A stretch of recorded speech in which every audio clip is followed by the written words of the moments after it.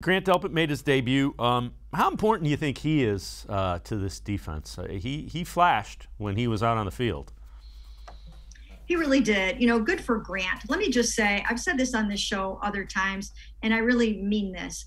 I, I really hope that fans are pulling for guys like Grant Delpit and Greedy Williams. Both of them sat out all last season, and it was it was emotional. It was so difficult for them, and you just watch them work so hard uh, to make it back onto the field. And in Grant's case, coming back from a ruptured Achilles, 26% of NFL players who suffer that injury don't make it back onto the field. So you know, there's you know, there's a decent chance that uh, you know that he might not have even made it back at all.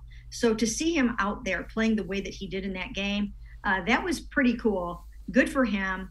Uh, he, he's a really, really neat young man, and I know Browns fans are going to end up loving him the more that uh, the, the more that they watch him play. But as you mentioned, he flashed in that game. They have high expectations for him. They had a huge role carved out for him last year as a rookie, and they're trying to pick up where they left off with the expectations for Grant. And so far, he's showing tremendous promise. Do you think um, we will see more of that three safety look where he is uh, kind of he's featured and, and you put a guy in the box and you kind of alternate between John Johnson III and, and Ronnie Harrison?